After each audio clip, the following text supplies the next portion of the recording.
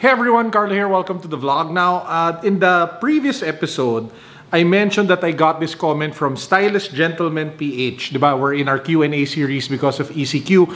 By the way, we're moving to MECQ starting today, so watch out for the guidelines. But anyway, ang tanong niya, if you would like to keep three watches and three kicks as the last, parang watches and kicks standing, in your collection, what would those picks be and why?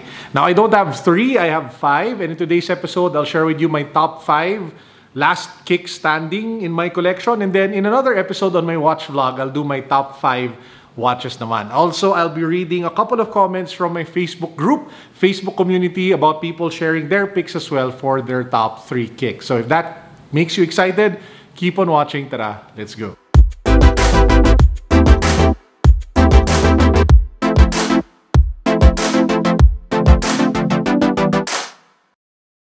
So how I'll do this is I will share a sneaker, may tell the story, and then I'll read a couple of uh, well comments from people from our Facebook group. So all of these shoes that I'm about to share with you are infused or embedded with a memory. So that's why they're special. So that's why I don't want to sell them. Apart from being comfortable, they are also special emotionally for me. So yung pinakaunang sneaker is one of my favorites of all time, which is the Off-White OG Presto. So you have it over here. Now, apart from being super comfortable and one of the most iconic works of Virgil Abloh, in my opinion, um, ito rin kasi super memorable sa akin. This is the pair of shoes that I bring with me every time I go to Japan. So this is like my Japan pair. So when we went there for New Year's, when we went there for a vacation, when we went there to go around and just enjoy Japan, ito yung sapatos na So every time I see this and wear it, I'm reminded of all the fond memories of sneaker shopping and going all over different cities in Japan. So again, that's the first one, Off-White OG Presto. By the way, I have a Japan series uh, all my vlogs about me going around Japan, Japan, Japan. It's a sneaker shopping guide. Make sure to check it out. It'll be linked down below. So basa-basa muna tayo dito. So this is from Rod Francis Romero. He's the guy who actually asked the question. Uh, ito yung Mr. Rate My Fit on our Facebook group. So sa kanya, We have a Lebron 16 Low Atmos Safari. Yan din yung shoe actually na regalo sa akin ni DJ Big Boy Cheng. Apparently, this is his grail in his collection and LBJ Lebron is his favorite NBA player. We also shows here uh, Under Armour Curry 7 Sour Patch Mismatch. He loves loud kicks and this is his favorite as well in his Under Armour collection. The third one looks like, ano ba to? Uh, parang Adidas yata to or Reebok. Eh. Pero hindi ko lang makita kasi hindi ko na-click yung Seymour. But yon Rod, maraming salamat for being such an active member of our Facebook community. Second one is from Eric Sia and I, I'm picking this comment because it intros to the next shoe perfectly that I'm going to share with you. So sabi ni Eric, being a tito already like Carlo. Wow. I would keep this NB990 V5s. Mm, perfect, perfect, perfect pick. Samba Boost and Reebok Classic Whites. Uh, the, the, the watches, ang ganda niya, but I'll talk about that in a separate episode. Which leads me to my second last sneaker standing, which is the New Balance 990. So I'm not sure if this is the v, V4, it'll be V4 or the V5.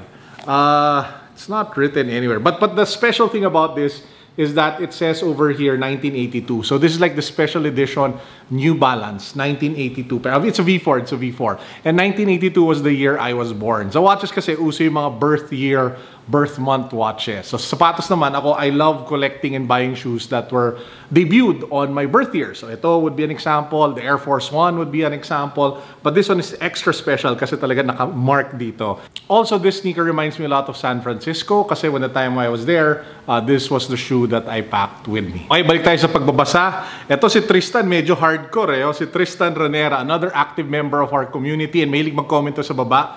Uh, he has a Sakai waffle, he has the Travis Dunks and some sort of like Jordan 1 mismatch na kulay. So, brother, ang init ng sapatos mo. From John Chloe Cuartero, uh, ito sobrang naalala ko to, yung Zoom, ay Zoom, yung ZX500 RM Commonwealth. So, nandun ako nung launch niyan dito. So, it's the Commonwealth uh, ZX500 RM Boost shoe. The Kobe 1 Proto, idol niya si Kobe Bryant. Lahat naman yata tayo idol si Kobe Bryant. Ultra Boost for everyday use. Thanks to Sir Carlo and Soul Republic for this one. Pinili ko din to kasi it segues to my next favorite shoe. O ang aking pinakaunang Adidas Ultra Boost. My very first Ultra Boost which I have restored several times over. From changing the laces to repainting uh, the, the midsole kasi kulay yellow na yan dati to repairing the outsole my favorite. So many memories of this one. I'm not, I bought this in uh, Madrid.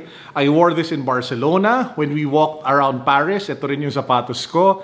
Uh, it is like the Europe shoe, in my opinion. So every time I would go to Europe, um, nung time na nakakapaglipad pa tayo, tsaka nakakapag-travel tayo, this was my go-to shoe kasama ko, misis ko.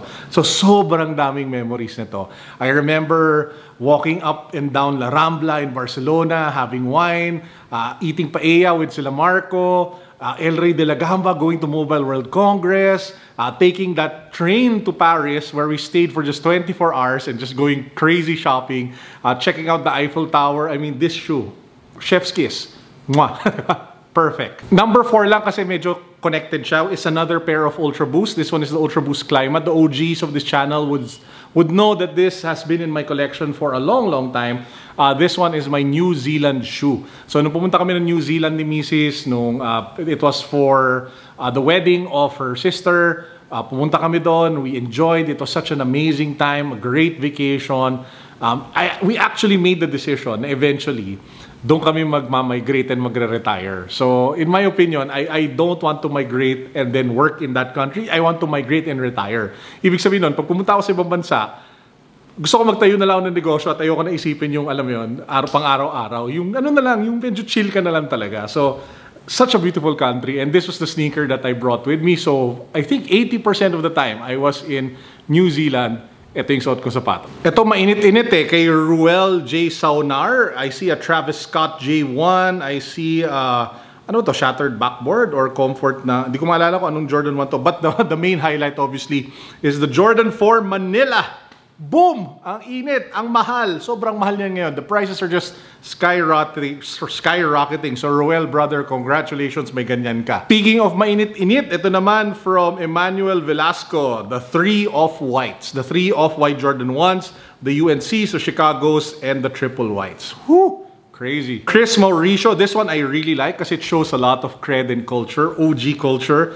Old school, sabi niya, Adidas Superstar Prada, Adidas Superstar Jeremy Scott, and Adidas Y3 Stan Smith. Ang angas lang talaga nung Jeremy Scott na superstar. I mean, OMG, take a look at those wings. That is a sick shoe. From Tots Canillas. Uh, so, linagay niya yung watches niya, pero the Jordans, yung focus natin. So, we have the three iconic Jordan 1s. I think that's the Shadow, that's the Black Red, and that's the Royal. So, again, yung watches will be a separate episode, guys. Abangan nyo yun sa watch channel ko. From Edward Aquino, Poor Man's Jordan 1 Low Dior because it's my first Jordan and I got it for retail. Brother, there's no such thing as a poor man's Dior or a poor man's whatever. If binili mo yung sapatos na yan gamit sarili mong pera, pinaghirapan mo yan, napakagandang sapatos niyan at deserve mo yan at sobrang panalo yan and don't let anybody make you feel or think otherwise. Ferdy De Villa, meron siya for the Kicks AJ1 mid-face Tasam. Actually, gusto ko to eh. Tsaka ang ganda nga no story about um, Michael Jordan about fears. You guys should research on that. It's an amazing shoe, amazing story. Uh, Air Force One type, partial to these because I believe this was my post in the 7 to 1 group with the most likes and appreciation. Siyempre, paborito. Ako gusto ko rin yan eh. So, good choice, good choice, brother. M2K Techno, the first kicks I bought after watching a vlog from Carlo Ople, aka nabudol ko siya doon. I would really want to read uh, all the comments, but there are literally almost 200 plus comments on that post. So medyo mahirap-hirap daanan lahat yon. So if you guys aren't part of that community yet, I'll link it down below. Join kayo. It's a fun Facebook community. Now for the last shoe, um, this one is my Las Vegas sneaker. So this is the off-white, I call it the Joker colorway. And alam niyo yung saying na what happens in Vegas stays in Vegas or crazy things happen there. So ako, di ko alam ano yung sumanib sa akin at ko bilhin tong kalokohan na kulay na to. it's so hard to wear. It's so crazy. You have that loud green pop na arrow and then the, the, the violet and then the blues and the blacks. But hey, it's fun, it's wild, it's unique.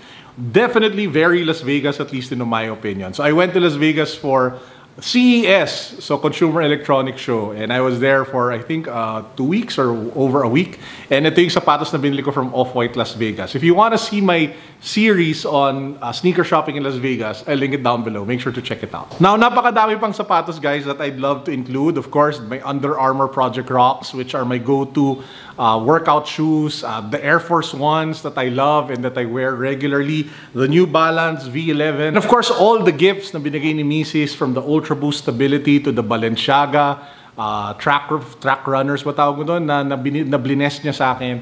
Syempre napakadami pa noon. I'll probably do a part 2 of this but I want to start with the top 5 uh, that had a lot of travel memories uh, for me. Kayo, what about you? What are your favorite five sneakers, parang last man standing sneakers ninyo, let me know in the comment section down below. Okay, with that said, that wraps up the vlog for today. See you guys tomorrow. Tomorrow, I'll be announcing the winner of our Yeezy 350 V2 Monoclay raffle. So make sure to check that out. As usual, this is Carlos signing out. Peace, God bless, what's up, boom.